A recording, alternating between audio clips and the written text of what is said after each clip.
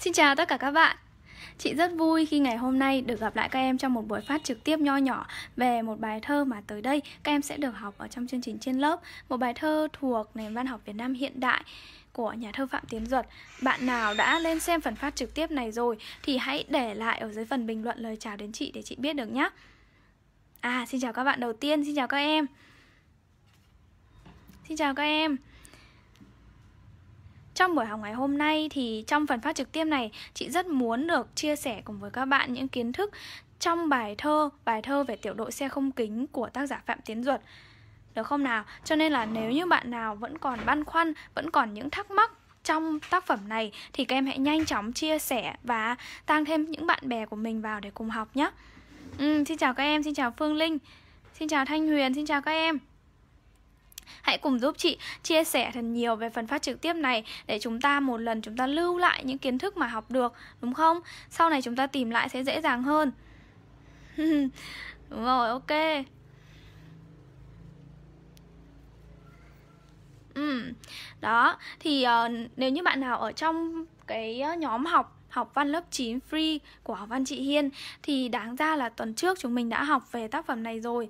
Tuy nhiên thì chị có một chút xíu việc bận cho nên là chị cũng muốn trong buổi phát trực tiếp này sẽ chia sẻ cùng với các em phần kiến thức nho nhỏ thôi, cũng không quá lớn, không quá là áp lực, cũng không quá nhiều đâu. Cho nên là mong rằng các bạn sẽ bớt chút xíu thời gian vào cùng học với chị nhé.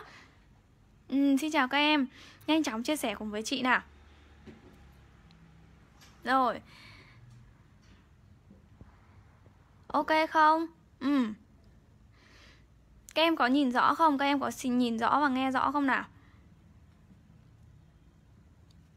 Đây cũng chính là tiêu đề trong buổi học ngày hôm nay Về một tác phẩm mà chúng ta, chị cùng với các em sẽ cùng trao đổi này, sẽ cùng chia sẻ những phần kiến thức, cái cách mà chúng ta sẽ phân tích những hình ảnh xuất hiện ở trong thi phẩm này ừ ok À xin chào An Nhiên nhé, xin chào em. Rất là cảm ơn em đã đã cùng đã biết đến chị và cùng đồng hành với trong fanpage học văn chị Hiên trung học cơ sở. Mong rằng là em sẽ tiếp tục theo dõi để nhận những cái phần tài liệu chất lượng Và mong rằng những tài liệu đó sẽ giúp ích cho em trong quá trình em học văn nhé Ừ, ok rồi, bây giờ thì chị sẽ thông báo với các bạn này. Thứ nhất là trong buổi học ngày hôm nay chúng ta sẽ không phải là học về toàn bộ thi phẩm Không phải là học về toàn bộ tác phẩm bài thơ về tiểu đội xe không kính của tác giả Phạm Tiến Duật Mà trong buổi phát trực tiếp này chị muốn nhấn mạnh cùng với các bạn Chúng ta sẽ đi sâu vào hình ảnh người lính lái xe Trường Sơn trong bài thơ này được không? Còn về hình ảnh những chiếc xe không kính hay là về uh, những cái dẫn chứng liên quan đến hình ảnh những chiếc xe không kính thì uh, ở đây thiếu một chữ kính này. Đó, thì các em sẽ cùng với chị học trong một buổi khác nhá, được không? Và chị nghĩ là khi mà chúng ta biết được cái cách phân tích về hình ảnh người lính lái xe rồi thì các em cũng sẽ dựa vào đấy để có thể hoàn thiện được cái sơ đồ tư duy cho chính mình về bài thơ này đấy. Ok không? Ừ. Rồi, nhá về hình ảnh người lính lái xe được không? Giống như chị viết ở trong phần à, phần tiêu đề cho buổi phát trực tiếp ngày hôm nay Đó là chúng ta sẽ đi học về cách phân tích hình ảnh người lính lái xe Trường Sơn Trong bài thơ bài thơ về tiểu đội xe không kính của tác giả Phạm Tiến Giật nhé ừ. Đã có bạn nào học tác phẩm này ở trên lớp chưa? À, sẽ có Ô, bị mờ à? Đây, nếu như bạn nào bị mờ thì hãy ờ, chịu khó đợi một chút xíu nhá. Đợi một chút xíu thôi thì tình hình mạng nó sẽ ổn định hơn. Ừ, đó. Thì uh, chị đang muốn giới thiệu Đó là thi phẩm bài thơ về tiểu đội xe không kính Của tác giả Phạm Tiến Duật. Dù là các bạn đã học ở trên lớp hay chưa Thì chị tin chắc rằng là các em cũng đã nghe một hoặc hai câu thơ liên quan đến bài thơ này rồi. Một hoặc hai câu thơ ở ngay trong chính thi phẩm này rồi. Không, không có kính, không phải vì xe không có kính, bom giật, bom rung, kính vỡ đi rồi. Đó là những vần thơ mà đã hết sức quen thuộc với chúng ta. Dù là chúng ta học về khi mà chúng ta học về văn học Việt Nam ở thời kỳ hiện đại đúng không và đặc biệt là nền văn học Việt Nam trong thời kỳ kháng chiến và ở đây thì bài thơ về tiểu đội xe không kính của Phạm Tiến Duật là một trong những thi phẩm tiêu biểu của nền thơ ca Việt Nam trong thời kỳ kháng chiến chống Mỹ. Vậy thì để tìm hiểu về tác phẩm này và đặc biệt là một hình ảnh nổi bật được xây dựng trong tác phẩm này đó chính là hình ảnh những người lính lái xe Trường Sơn thì trước tiên các bạn hãy nắm được cho chị về những cái thông tin cơ bản, những cái thông tin khái quát nhất về tác giả và tác phẩm nhé. Đó là về tác giả Phạm Tiến Duật, đúng không? Về tác giả Phạm Tiến Duật thì các em có thể sử dụng phần này trong phần mở bài hoặc là các em sẽ khái quát ở trong cái luận điểm đầu tiên của phần thân bài để chúng ta có thể bắt nhịp vào cái mạch phân tích một cách trôi chảy hơn. Ví dụ như là chúng ta được biết là nhà thơ Phạm Tiến Duật các em có thể đi sâu vào cái phong cách viết thơ của ông khi mà nhà thơ này là một trong những gương mặt tiêu biểu của thế hệ các nhà thơ trẻ thời kỳ chống Mỹ, đúng không nào? Và đặc biệt, thơ ông được biết đến với cái chất giọng rất là sôi nổi, trẻ trung, hồn nhiên, có pha chút ngang tàng, tinh nghịch nhưng cũng rất sâu sắc và đặc biệt là nhắc đến Phạm Tiến Duật thì người ta được biết đến ông như là Ông đã từng được ca tụng là con chim lửa của Trường Sơn huyền thoại hay là nhà thơ lớn nhất thời kỳ chống Mỹ. Ông giống như một ngọn lửa đèn và thơ của Phạm Tiến Duật đã từng được ca ngợi giống như là một binh đoàn trùng trùng ra trận. Đó, và khi mà học về tác phẩm này, khi mà đọc bài thơ này lên, các em cũng sẽ cảm nhận được tất cả những gì rõ nét nhất về phong cách thơ của Phạm Tiến Duật đấy. Vậy thì ở trong bài thơ, bài thơ về tiểu đội xe không kính là một trong những thi phẩm được viết trong thời kỳ kháng chiến chống Mỹ đang diễn ra rất ác liệt và viết về cái tuyến đường Trường Sơn máu lửa. Đặc biệt ở đây chính là về hình ảnh người lính lái xe Trường Sơn. Người lính lái xe Trường Sơn trong bài thơ này được xây dựng và được làm nổi bật xuất phát từ hình ảnh những chiếc xe không kính từ nhan đề thì chúng ta thấy được là bài thơ về tiểu đội xe không kính, đúng không? Thì ở đây tác giả có đem đến cho chúng ta một hình ảnh vừa thực nhưng cũng rất giàu chất lính và rất giàu chất thơ. Đó chính là những chiếc xe không kính. Và đặc biệt hơn, đó chính là qua đó, qua hình ảnh của những chiếc xe không kính đó, thì tác giả còn đem đến cho chúng ta rõ nét hơn bức tượng đài về hình ảnh người lính lái xe Trường Sơn, những người mà trực tiếp điều khiển những đoàn xe không kính vẫn luôn băng băng ra mặt trận. Được không nào?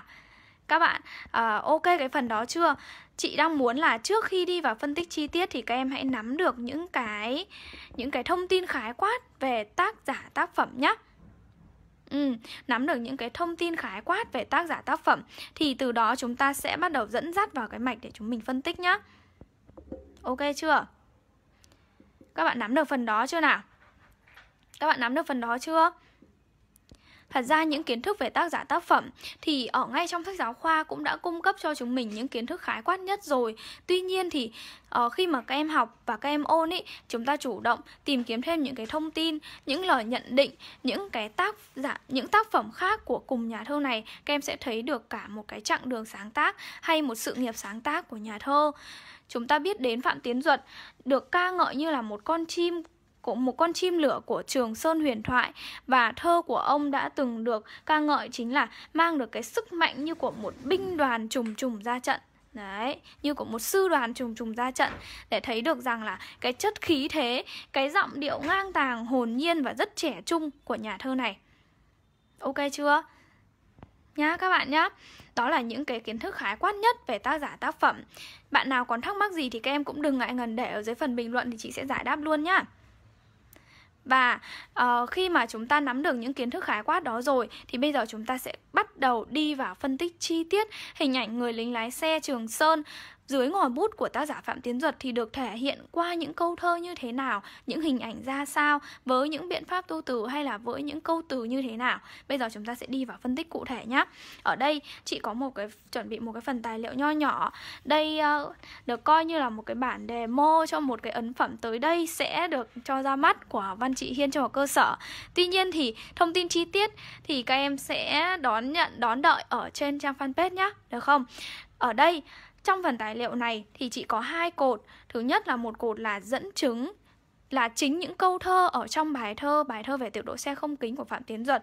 Còn một cột tương ứng với đó là cách để chúng ta phân tích những câu thơ đó và để chỉ ra được ý chính của câu thơ này là gì. Các bạn ok không? Và như vừa nãy chị mới nói đó là trước khi đi vào phân tích hình ảnh người lính lái xe thì chúng ta cũng có một chút xíu khái quát đó chính là uh, trong bài thơ này thì nổi bật đó là hình ảnh những chiếc xe không kính, nhưng chính những chiếc xe không kính đó đã làm nổi rõ được hình ảnh những người lính lái xe Trường Sơn khi mà họ đã thực hiện nhiệm vụ khi rất là thiếu thốn, cả những cái phương tiện vật chất tối thiểu nhất, đúng không? Những người những người lính lái xe thì cái phương tiện tối thiểu nhất của họ là những chiếc xe, nhưng Bây giờ thì cái phương tiện tối thiểu đó cũng không có kính Có nghĩa là cái điều kiện mà họ tham gia chiến đấu, họ tham gia vận tải Quân sự thì rất là thiếu thốn, đúng không nào? Và thông qua đó thì tác giả Phạm Tiến Duật đã đem đến cho chúng ta hình ảnh về những người lính lái xe có những đặc điểm chính như sau Chúng ta có ba đặc điểm chính và ở mỗi đặc điểm đó Ừ, À, và ở mỗi đặc điểm đó thì chúng ta sẽ có những câu thơ cụ thể để phân tích nhá. Ba đặc điểm chính của hình ảnh người lính lái xe trong ngày hôm nay chúng ta sẽ đi phân tích. Thứ nhất, đây, đây chính là cái ý chính đầu tiên chính là cái tư thế hiên ngang. Đây nhá.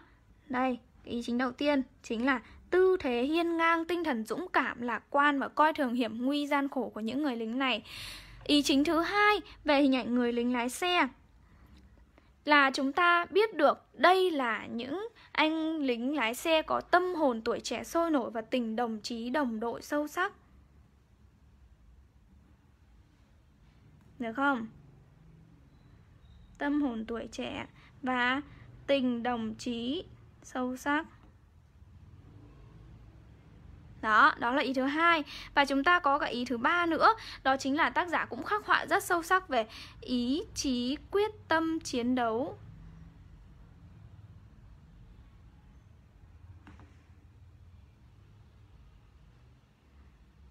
Giải phóng miền Nam.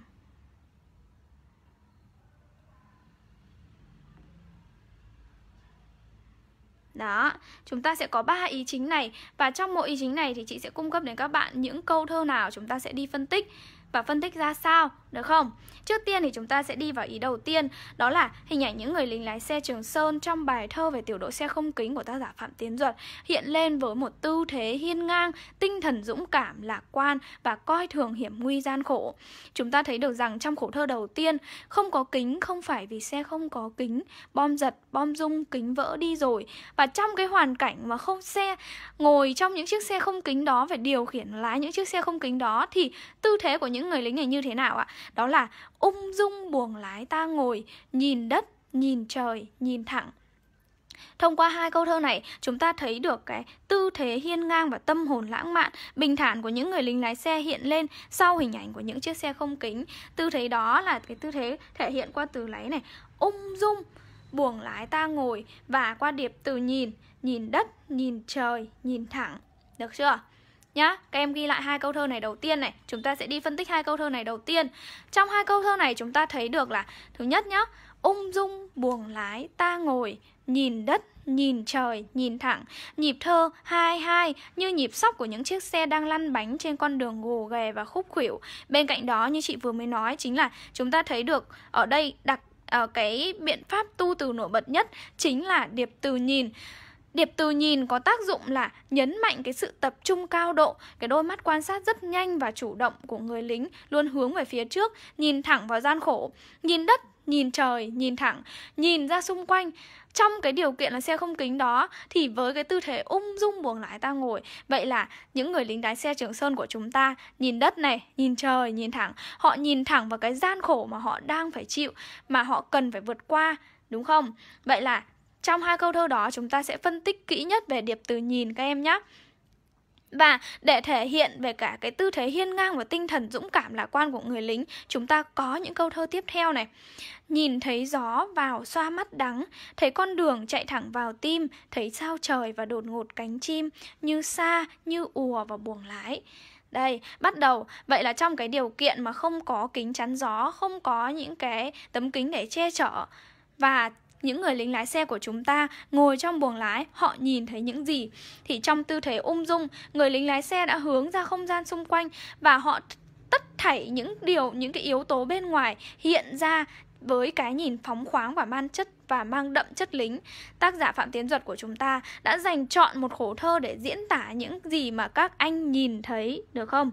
Để diễn tả những gì các anh ấy nhìn thấy với nhịp thơ dồn dập như một thước phim quay nhanh. Các em nghe này, nhìn thấy gió vào xoa mắt đắng, thấy con đường chạy thẳng vào tim, thấy sao trời và đột ngột cánh chim như xa như ùa vào buồng lái. Nhịp thơ nhanh, mạnh, giống như một thước phim và đem đến cho chúng ta trọn vẹn một khẩu thơ để tác giả dành đến cho chúng ta những gì mà những anh lính lái xe nhìn thấy khi ngồi trong một cái buồng lái xe ô tô nhưng mà lại không có kính chắn gió đúng không vậy thì các anh nhìn thấy gì ạ Thứ nhất, những câu thơ này thì chúng ta thấy được đem đến cho chúng ta nó đã diễn tả thành công được cái cảm giác về tốc độ của những chiếc xe đang lao nhanh với cái nhịp thơ nhanh mạnh như vậy nữa. Những chiếc xe này đang lao nhanh trên đường Trường Trinh mà không hề có kính chắn gió và người lính lái xe của chúng ta ngồi trong buồng lái, trần trụi trong quả kép này, trần trụi đối mặt với tất cả. Tất cả đó gồm những gì? Thấy gió vào xoa mắt đắng, được chưa?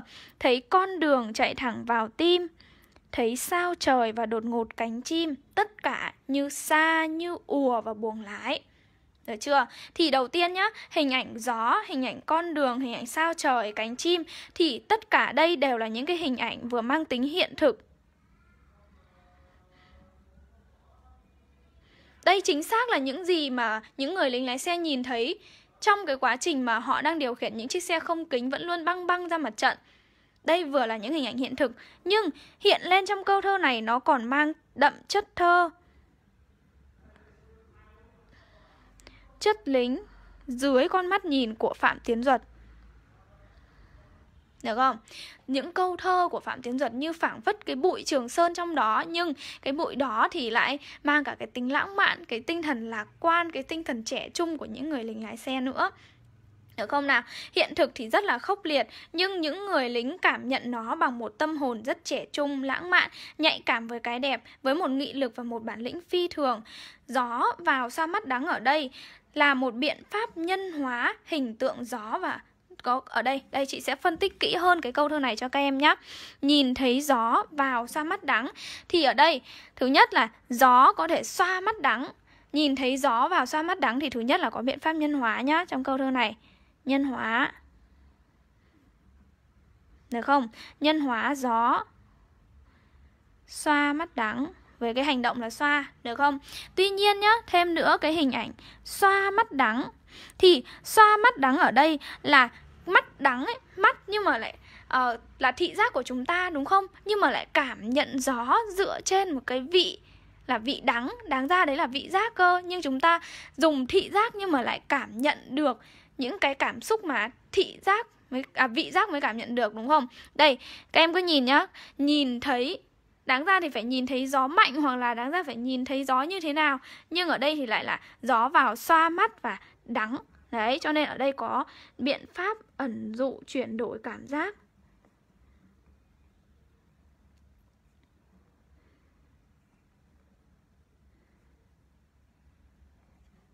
Được không? Ở đây có cả biện pháp ẩn dụ chuyển đổi cảm giác nữa. Ừ, đúng rồi, chính xác. Và ở đây là ẩn dụ cho cái gì? Gió vào xa mắt đắng là kết hợp của biện pháp nhân hóa hình tượng gió và ẩn dụ chuyển đổi cảm giác trong từ đắng đã thể hiện cái gì ạ? Đã nhấn mạnh được ở đây ẩn dụ là ẩn dụ cho những đêm dài thức trắng mà các anh đã phải tập trung lái xe. Các em biết đấy, đường Trường Sơn của chúng ta với cái sự gồ ghề gập ghềnh và còn bị phá hoại bởi bom đạn của kẻ thù nữa thì cái con đường vận chuyển đấy vốn đã rất khó khăn thì nay những người lính lái xe của chúng ta còn không cả có kính chắn gió ngồi trong buồng lái đó thì phải tập trung 100% cái sức lực, tập trung 100% cái cái cái cái tinh thần của mình để có thể hoàn thành tốt được nhiệm vụ. Vậy là xoa mắt đắng đó thì cái hình ảnh này còn đem đến cho chúng ta cảm nhận về những người lính lái xe. Họ trẻ trung họ ngang tàng họ tếu táo như vậy đấy. Nhưng khi mà hoàn khi mà thực hiện nhiệm vụ thì họ cũng rất tập trung. Và xoa mắt đắng này cũng chính là một hình ảnh biểu thị cho những gì mà cố gắng nhất của các anh này, những gì quyết tâm nhất của các anh những gì mà các anh đã nỗ lực để có thể hoàn thành tốt nhiệm vụ của mình. Được không nào? Nhá ok chưa? Đó là về câu thơ nhìn thấy gió vào xoa mắt đắng, Đặc biệt chúng ta phân tích như vậy nhá. Tiếp tục này, Thấy con đường chạy thẳng vào tim, Thấy sao trời và đột ngột cánh chim Như xa như ùa và buồng lái. Thì ở đây, chúng ta thấy được Hình ảnh con đường chạy thẳng vào tim. Không chỉ là con đường chiến lược mà xe đang lăn bánh ra mặt trận, mà đây còn là ẩn dụ cho con đường giải phóng miền Nam. Ẩn dụ bởi vì nó có sự tương đồng nhá, các em nhớ lại biện pháp ẩn dụ của chúng ta. Đó chính là dùng đối tượng A để nêu về đối tượng B và giữa hai đối tượng đó thì có sự tương đồng. Thì con đường chạy thẳng vào tim ở đây là Thực tế thì các anh hướng về phía trước và thấy được cái con đường chiến lược mà các anh phải điều khiển những chiếc xe, những cái đoàn xe vận tải quân sự theo đúng cái con đường chiến lược đó, đó là con đường thực tế. Nhưng con đường đó cũng ẩn dụ cho cái con đường giải phóng miền Nam là những gì của chân lý, là những gì của lẽ sống đúng đắn, của tình thương và quyết tâm chiến đấu vì độc lập tự do của dân tộc. Ok chưa nào? Vậy là trong những câu thơ đầu tiên đó, trong hai đoạn thơ đầu tiên, chúng ta thấy được là hình ảnh những người lính lái xe hiện lên. Thứ nhất, trong gian khổ, hiểm nguy, người lính vẫn luôn hiên ngang trong tư thế làm chủ, chấp nhận gian lao bằng nụ cười lạc quan và tinh thần trẻ trung, hết sức mạnh mẽ. Đó chính là tư thế và tinh thần của người chiến thắng. Đúng không? Chúng ta cảm giác như đọc những câu thơ này lên Rõ ràng là một bức tranh hiện thực đang mở ra trước mắt chúng ta Với hình ảnh của những binh đoàn ra trận. Nhưng đây là những binh đoàn vận tải quân sự mà những chiếc xe thì không có kính. Nhưng chúng ta cảm giác đâu có cái sự ờ, bi quan, đâu có cái sự sợ hãi ở đây đâu.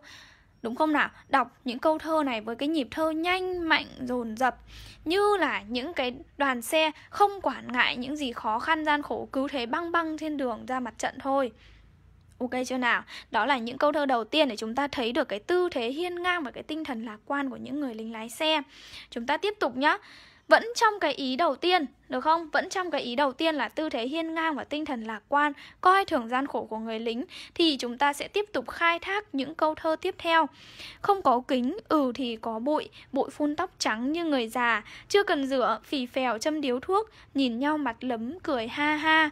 Không có kính, ừ thì ướt áo, mưa tuôn, mưa xối như ngoài trời, chưa cần thay, lái trăm cây số nữa, mưa ngừng, gió lùa khô mau thôi những câu thơ tiếp theo chúng ta sẽ thấy rõ được cái cái tinh thần mà coi thường gian khổ vượt lên trên những cái gian khổ khó khăn nơi chiến trường của những người lính lái xe Trường Sơn nhé. Đầu tiên, chúng ta thấy được rằng ở đây có biện pháp điệp cấu trúc với ngôn từ đậm tính khẩu ngữ này. Không có kính, ưu thi, rất là ngang tàng, rất là hiên ngang đúng không? Những người lính lái xe của chúng ta với cái tinh thần cứng cỏi bất chấp mọi khó khăn của người lính và họ chấp nhận đương đầu với tất cả những gì là là khó khăn là nghiệt ngã của chiến trường. Họ sẵn sàng vượt lên trên tất cả những điều đó để có thể hoàn thành tốt nhiệm vụ và chiến đấu vì miền Nam phía trước. Được không nào? Và tiếp tục nhá. Đây, trong hai câu thơ này này, à trong hai đoạn thơ này chúng ta phải phân tích được cái điệp cấu trúc với những ngôn từ đậm tính khẩu ngữ là không có kính ừ thì, đặc biệt là từ ừ thì này này, rất là đậm tính khẩu ngữ giống như là những người lính lái xe họ đang tếu táo với nhau vậy. Đúng không? Và chính cái từ ngữ đó thì lại được tác giả phạm tiến duật của chúng ta đưa vào trong câu thơ, đem đến cho câu thơ cái chất trẻ trung, cái tính khẩu ngữ, cái sự gần gũi với đời sống chiến trường. Nhưng mà qua đó thì lại làm nổi bật được cái tinh thần coi thường gian khổ của những người lính vốn rất trẻ trung và lạc quan đó được không nào?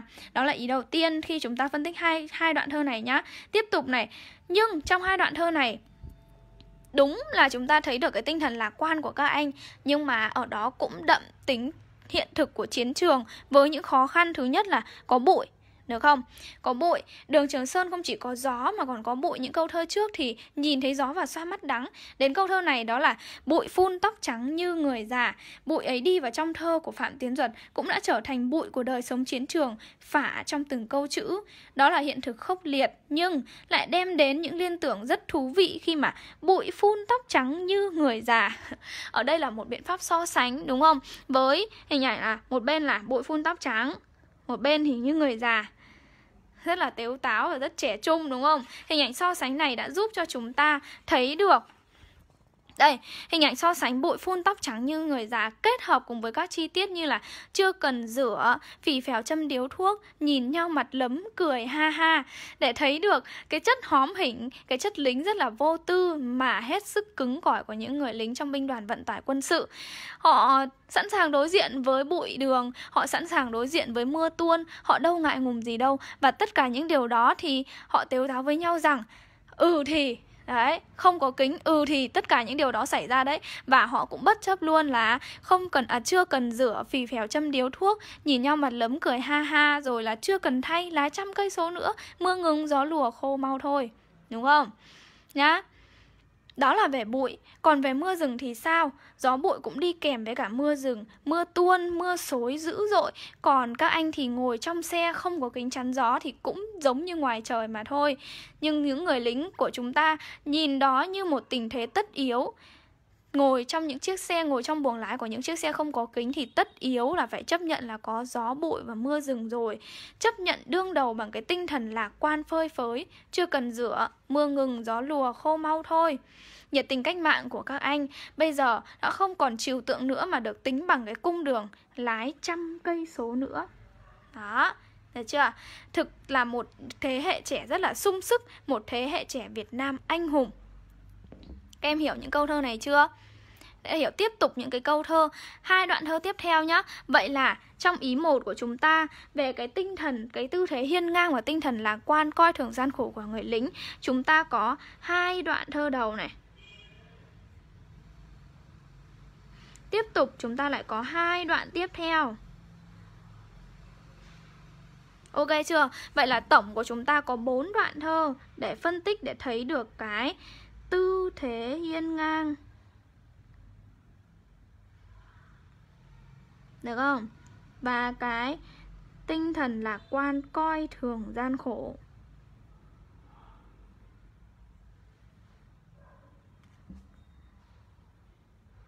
Các em nhá Ừ Ok rồi, đúng không? Được không nào? Các bạn đã ok phần đó chưa? Nếu mà các bạn nắm rõ rồi thì chị sẽ lại tiếp tục được không? Nhưng mà chị muốn dừng một chút xíu để xem là các em đã nắm được cái kiến thức phần này chưa? Có gì thắc mắc không nào? Có gì thắc mắc không nào? Ừ. Ừ. À bây giờ vẫn có các bạn mới vào à? Rồi ok, nếu như mà các bạn mới vào thì các em nhanh chóng Có những phần kiến thức nào các em thấy hay và hữu ích Thì các em hãy lấy giấy bút ra và ghi lại nhé Ừ và các bạn mà ở trong group học free học của học văn chị Hiên trung học cơ sở ấy thì đây cũng coi như là một buổi mà chị dạy bù cho các em trong buổi học tuần trước nhá.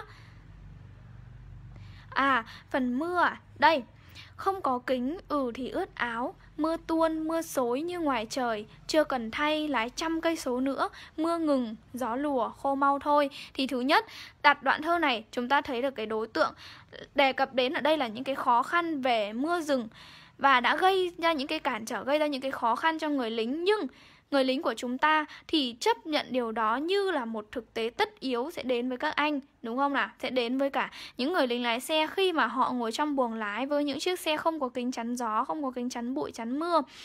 Và họ đối diện với cái tinh thần như thế nào? Ừ thì ướt áo, rồi chưa cần thay, lái trăm cây số nữa, mưa ngừng, gió lùa, khô mau thôi.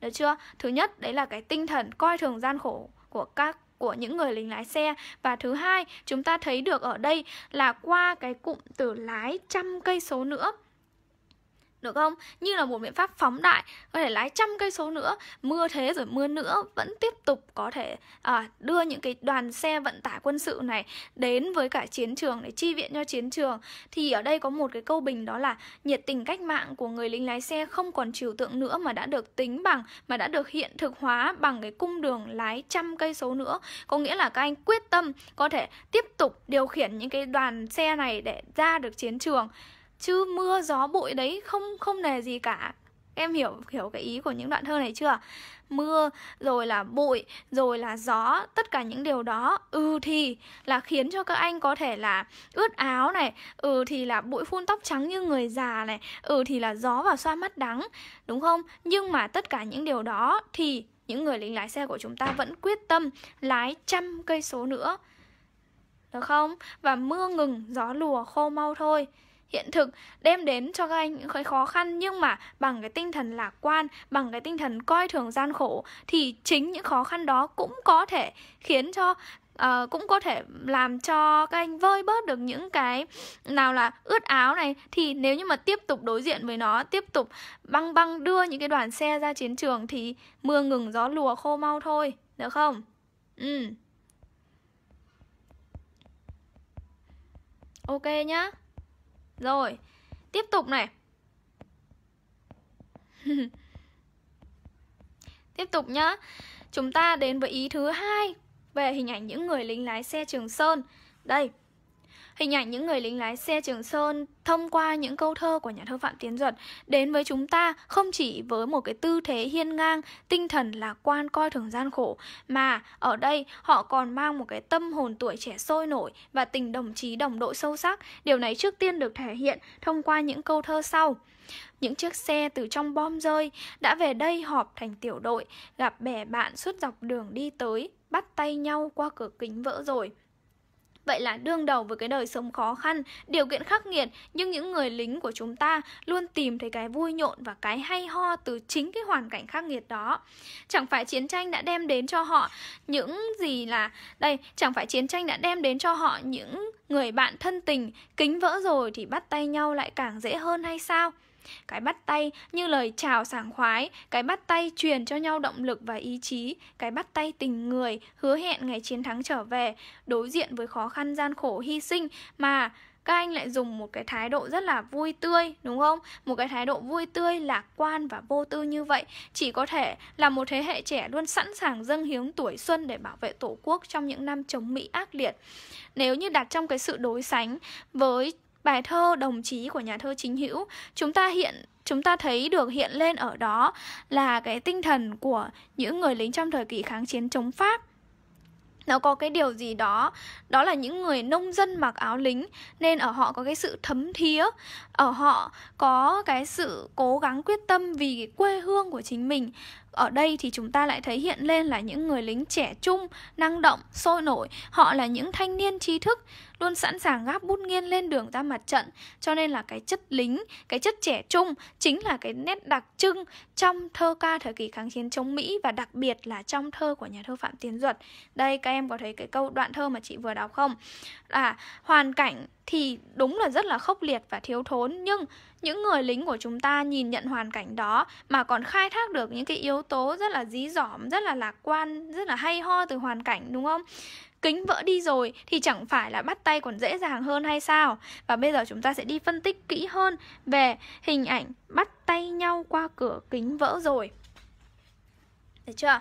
Bắt tay nhau qua cửa kính vỡ rồi Thì cái nắm tay đó, cái bắt tay đó Thứ nhất, nó như là một cái lời chào sảng khoái được chưa? Cái thứ hai là cái bắt tay truyền cho nhau động lực và ý chí. Cái thứ ba, đây là cái bắt tay của tình người hứa hẹn ngày chiến thắng trở về. Và qua đây chúng ta cũng thấy được cái tinh thần trẻ trung là một thế hệ trẻ rất là sôi nổi, rất là hăng hái tham gia chiến trường, tham gia chiến đấu vì tổ quốc, vì quê hương. Và thế hệ trẻ đối đó thì cũng rất là uh, trân trọng cái tình đồng chí, đồng đội thông qua cái bắt tay này. Vậy là có những ý nghĩa về cái bắt tay như thế này nhá. Các em ghi nhớ nhá. Thứ nhất là cái bắt tay như một cái lời chào sảng khoái. Khi mà trên đường ra trận Các em cứ hình dung là có hai đoàn xe. Một đoàn là tiến ra tiền phương của một đoàn là về hậu phương để tiếp tục nạp thêm những cái uh, lương thực thực phẩm rồi quân tư trang để phục vụ cho chiến trường. Hai cái đoàn xe đấy cứ đi song song như vậy và khi mà họ ngồi trong buồng lái mà không có kính cản trở thì họ bắt tay lại càng dễ dàng hơn. Cái bắt tay đó trước tiên nó giống như là những cái lời chào trên hành trên đường hành quân ra trận. Tiếp tục, cái bắt tay này cũng là cái bắt tay để truyền cho nhau động lực và ý chí chiến đấu của những người đồng chí đồng đội với nhau. Rồi cái bắt tay này cũng chính là cái bắt tay của tình người và hứa hẹn ngày chiến thắng trở về. Ok chưa nhá? Được không nào? Vậy là đối diện với gian khổ hy sinh bằng một cái thái độ vui tươi, lạc quan và vô tư như vậy chỉ có thể bắt gặp ở một thế hệ trẻ luôn sẵn sàng dâng hiến tuổi xuân cho Tổ quốc, dâng hiến tuổi xuân cho đất nước trong những năm tháng chấm Mỹ ác liệt đó, và vừa rồi thì chị cũng liên hệ để chúng ta thấy được cái sự khác nhau giữa những vần thơ kháng chiến chống Mỹ và những vần thơ thời kỳ kháng chiến chống Pháp. Được không? Nhá, được không nào? Các bạn ok chưa? Đó. Tiếp tục này, về cái tinh thần tuổi trẻ sôi nổi và tình đồng chí đồng đội sâu sắc thì ở đây chúng ta lại thấy được thể hiện qua những câu thơ tiếp theo. Bếp hoàng cầm ta dựng giữa trời, chung bát đũa nghĩa là gia đình đấy, võng mắc trông tranh đường xe chạy, lại đi, lại đi, trời xanh thêm. Tiếp tục, vậy là ý thứ hai của chúng ta, ý thứ hai của chúng mình nhá, là có bốn câu thơ về cái bắt tay. Và có bốn câu thơ tiếp là về tình đồng chí đây võng mắc trong tranh đường xe chạy lại đi lại đi trời xanh thêm còn bên trên thì là chung bát đũa nghĩa là gia đình đấy tình đồng chí này Ok chưa? Vậy trong ý thứ hai là chúng ta sẽ phân tích 8 câu thơ nhá. bốn câu thơ đầu thì chị đã phân tích rồi, tiếp tục đến bốn câu thơ tiếp theo. Đây, ở đây những người lính lái xe của chúng ta trẻ trung, sôi nổi, vô tư, hồn nhiên và các anh định nghĩa về gia đình cũng thật giản dị. Chung bát, chung đũa, chung hoàn cảnh, chung con đường. Ấy chính là đồng đội, ấy chính là gia đình, là anh em một nhà. Và tình cảm của những người lính thắm thiết như ruột thịt. Câu thơ của của nhà thơ Phạm Tiến Duật đậm chất tự sự như lời ăn tiếng nói như một cái định nghĩa rất là hào phóng, giản đơn, nhưng lại thắm tình đồng đội của người lính lái xe về hai chữ gia đình giữa chiến trường bom rơi đạn nổ. Ok không? Đây, chính là cái câu này này. Chung bát đũa nghĩa là gia đình đấy. Một câu thơ mà đậm chất tự sự, kiểu như chúng ta đang kể cho nhau nghe. Đấy chung bát đũa nghĩa là gia đình đấy. Đấy các em cứ hình dung để thấy được cái chất tự sự, cái chất phóng khoáng ở trong những câu thơ này. Nó giống như là một cái định nghĩa rất là hào phóng về gia đình. Gia đình đơn giản lắm, chung bát, chung đũa, chung con đường, chung hoàn cảnh chung cái mục đích chiến đấu. Thì nghĩa là gia đình đấy. Nghĩa là anh em một nhà rồi đấy. Được không? Đấy nhá. Tiếp theo này những cái sinh hoạt đời thường những phút nghỉ ngơi của người lính rất là vui tươi lạc quan. Nhưng nó lại có điều gì khiến cho chúng ta phải sao xuyến? Võng mắc thì là một cái tư thế rất là nhẹ nhõm, đúng không? Võng mắc thì rất là nhẹ nhõm, Là một cái tư thế nghỉ ngơi, Là phút nghỉ ngơi thoải mái, Nhưng không khi nào không trong thế trông tranh Võng mắc nhưng mà lại kết hợp với cái từ trông tranh Thì từ lái trông tranh này là một cái từ lái tượng hình. Đấy, thì tư trông tranh ở đây không chỉ là cái tư thế võng mắc, mà còn là hơi thở của hiện thực chiến trường vẫn luôn luôn hiện hữu trong từng ý thơ về tiểu đội xe không kính có thể thấy là từ nãy đến giờ chị cung cấp đến cho các bạn những cái ý phân tích đều cho thấy được vẻ đẹp của những người lính lái xe. Nhưng trong từng câu thơ của nhà thơ Phạm Tiến Duật thì luôn luôn không làm mất đi cái chất hiện thực của chiến trường. Các anh có những cái phút giây nghỉ ngơi, ngơi nghỉ rất là thoải mái, là võng mắc nhưng lúc nào cũng là võng mắc trông tranh đường xe chạy. Đúng không nào? Cái những cái tư thế của các anh luôn được đặt ở trong cái chất hiện thực, trong cái hoàn cảnh hiện thực chiến trường lúc bấy giờ. Và để làm sáng lên được cái tinh thần đó thì tác giả sử dụng câu thơ lại đi lại đi, trời xanh thêm chúng ta thấy rõ được ở đây chính là điệp từ lại đi lại đi nó khẳng định được cái đoàn xe sẽ không ngừng đi tới, sẽ tiếp tục đi tới đi tới, đi mãi cho đến khi nào có thể giải phóng được miền Nam, thống nhất đất nước. Và hình ảnh trời xanh thêm chính là một hình ảnh ẩn dụ nhá. Hình ảnh trời xanh thêm. Đây chính là ẩn dụ cho tâm hồn chan chứa lạc quan và hy vọng của những người lính lái xe này. Hy vọng về một tương lai có thể giải phóng được miền Nam. Hy vọng vào cái cuộc chiến đấu chính nghĩa và hy vọng được vào vào cái tinh thần quyết tâm của toàn thể quân và dân hướng về miền Nam ruột thịt. Được không nào? Nhá. Đó là cái ý thứ hai của chúng mình. Các bạn nắm rõ chưa? Các bạn đã ok phần này chưa? Ừ, các bạn ok phần này chưa? Vậy nhá Chúng ta đã đi được sắp xong về hình ảnh người lính lái xe rồi đấy Đã có kha khá những đoạn thơ mà chúng ta đã phân tích xong Có bạn nào không hiểu chỗ nào không? Có bạn nhỏ nào không hiểu chỗ nào không nào? Ừ À hiểu rồi đúng không? Các em hiểu rồi đúng không nào? Ok Ừ Đúng rồi, chính xác rồi đấy.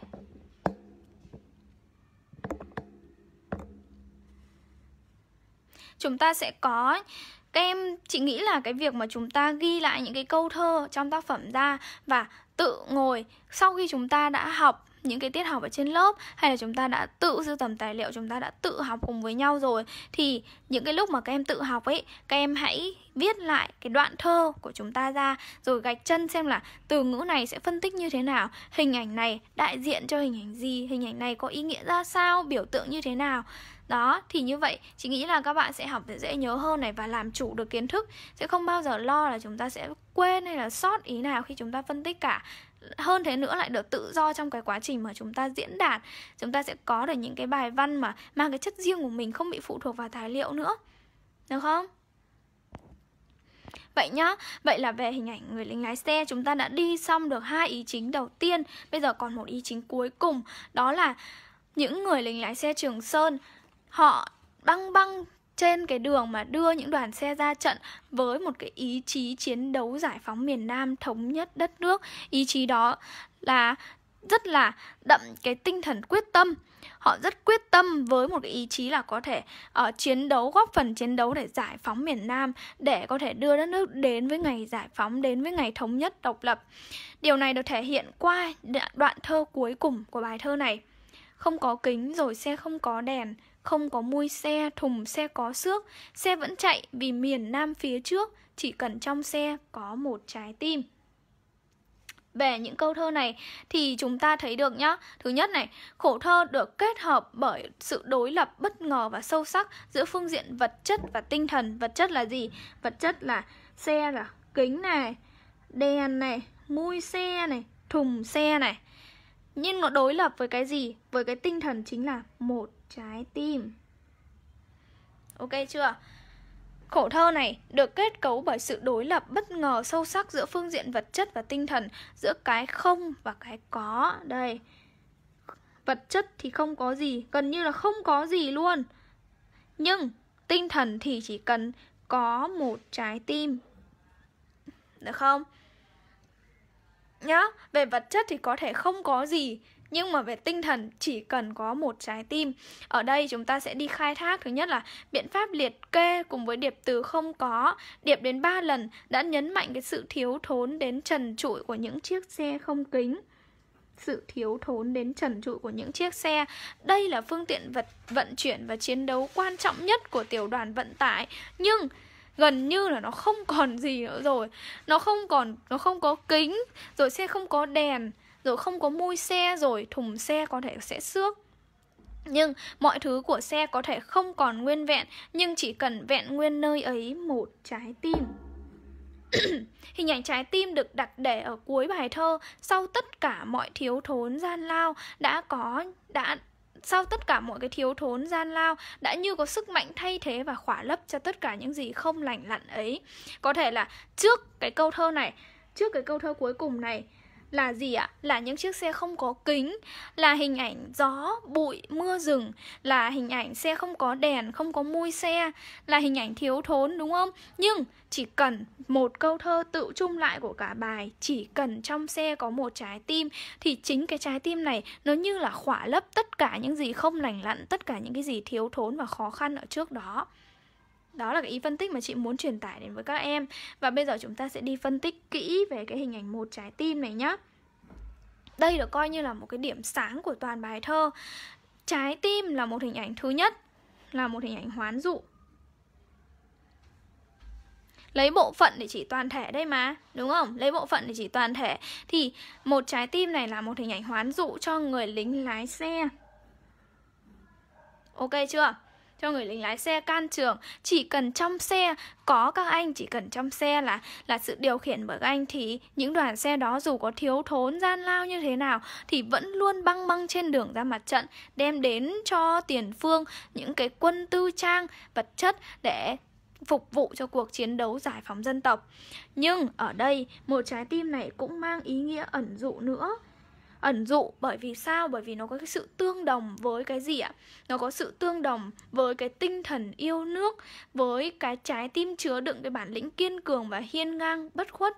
Trái tim mang một tinh thần lạc quan, niềm tin mãnh liệt vào ngày mai tất thắng. Và trái tim này chính là nhãn tự của toàn bài thơ, hội tụ vẻ đẹp tinh thần của người lính để rồi tỏa sáng đến muôn thế hệ mai sau. Vậy là chị muốn nhấn mạnh với các bạn ở đây, Hình ảnh trái tim được đặt để ở cuối bài thơ với sự đối lập Với những cái thứ không có ở bên trên. Thì chỉ cần trong xe có một trái tim được chưa? Là nó sẽ góp phần khỏa lấp cho tất cả những cái thiếu thốn Tất cả những cái gì không lành lặn ở phía trên Thứ hai là hình ảnh trái tim này một trái tim này không chỉ mang nghĩa hoán dụ mà còn mang nghĩa ẩn dụ. Hoán dụ thì nó hoán dụ trực tiếp cho những người lính lái xe ngồi trong buồng lái. Còn ẩn dụ thì nó dựa trên cái sự tương đồng để rồi nó muốn thể hiện và tượng trưng cho cái trái tim, cho cái tinh thần yêu nước, cái ý chí quyết tâm chiến đấu vì miền Nam thống nhất đất nước của những người lính lái xe vận tải của những người lính lái xe nói riêng và của toàn bộ đoàn quân ra trận nói chung. Ok không? nhá các bạn nhá. Đó, và qua đó thì chúng ta sẽ khẳng định được cái ý chí quyết tâm chiến đấu giải phóng miền Nam thống nhất đất nước của những người lính lái xe mà chúng ta đang phải đi phân tích ở đây. Vậy là chị đã cùng với các bạn chúng ta đi phân tích những câu thơ để làm rõ được vẻ đẹp của hình ảnh người lính lái xe Trường Sơn trong bài thơ bài thơ về tiểu đội xe không kính của nhà thơ Phạm Tiến Duật. Có bạn nào có thắc mắc gì không? Các em có kịp ghi lại những cái phần phân tích đó không nào? Được không? Ừ. Các bạn còn đang xem thì hãy nhanh chóng phản hồi để chị biết được nào. Trong buổi học ngày hôm nay thì các em đã đã nắm được những cái kiến thức khái quát nhất này, những cái cách để chúng ta phân tích thơ, làm sao để chúng ta không bị quên những cái ý để chúng ta phân tích chưa? Nhá. Được không nào?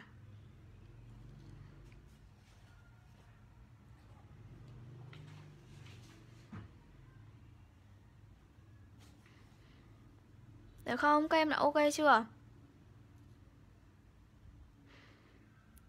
Với bài thơ bài thơ về tiểu đội xe không kính của Phạm Tiến Duật thì có hai hình ảnh chính, thứ nhất là hình ảnh của những chiếc xe không kính và thứ hai là hình ảnh của những người lính lái xe Trường Sơn. Vậy là trong buổi ngày hôm nay thì chị đã cùng với các bạn làm rõ được vẻ đẹp của hình ảnh thứ hai mà chị vừa mới nêu đấy chính là hình ảnh của những người lính lái xe và đặc biệt nhá là khi các em phân tích ý, thì các em không rạch ròi về cái phạm vi phân tích của hai hình ảnh này.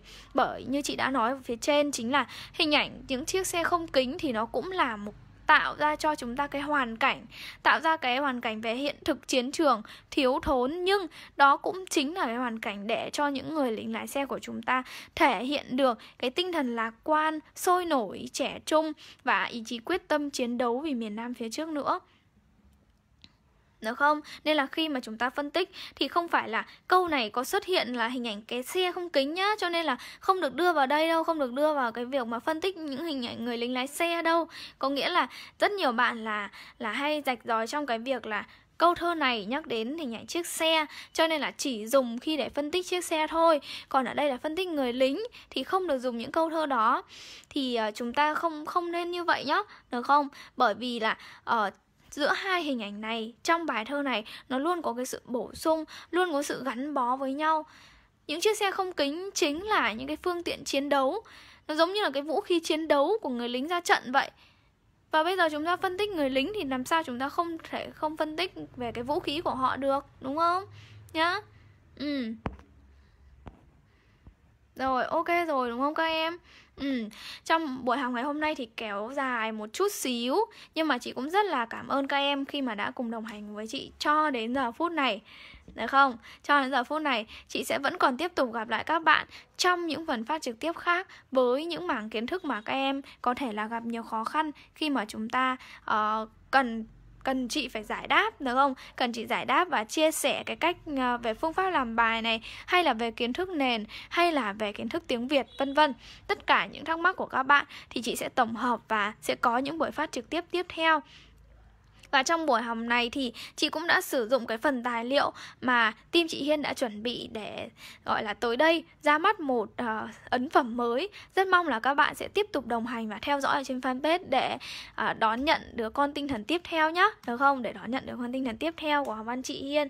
À, vậy là và để thay cho lời kết ngày hôm nay thì chị sẽ lại xin chiếu lại cho các bạn cái phần đây, cái phần uh, sơ đồ tư duy khái quát nhất những câu thơ nào cần phân tích trong ý nào, từ đó thấy được ý nghĩa của nó ra sao? Thì chị có tóm gọn lại ở trong phần sơ đồ tư duy này. Chị mong rằng là các em khi mà học buổi học ngày hôm nay xong, các em cũng có thể có được cái sơ đồ tư duy của riêng mình về kiến thức, bài thơ bài thơ về tiểu đội xe không kính của nhà thơ phạm tiến duật nhé ừ ok rồi, đúng không? Rồi, rất là cảm ơn các bạn đã cùng đồng hành với chị trong buổi học ngày hôm nay. Chị sẽ rất vui khi những buổi học khác, những buổi học sau sẽ vẫn có những bạn mà tích cực và tương tác và các bạn sẽ luôn tiếp tục ủng hộ những bộ tài liệu, những phần phát trực tiếp của thi học văn chị Hiên các em nhé. Đúng rồi, cảm ơn, cảm ơn các em rất là nhiều. Và hẹn gặp lại các bạn trong những phần phát trực tiếp tiếp theo. Nếu như thấy phần phát trực tiếp này bổ ích Thì các em hãy nhanh chóng chia sẻ Và gửi đến những người bạn của mình để cùng học Và cùng ghi nhớ kiến thức nhé Rất là cảm ơn các em và hẹn gặp lại các em trong những phần phát trực tiếp tiếp theo. Bye bye!